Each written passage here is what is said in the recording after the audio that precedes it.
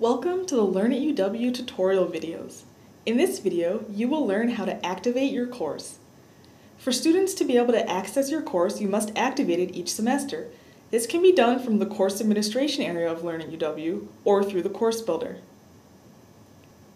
Access your course homepage by logging in and clicking on a course name in your My Home. Click on Course Admin in the navigation bar to open the drop-down menu, and then click on Edit Course. Then, click on Course Offering Information.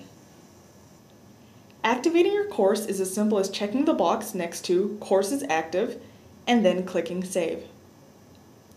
Students can now see your course.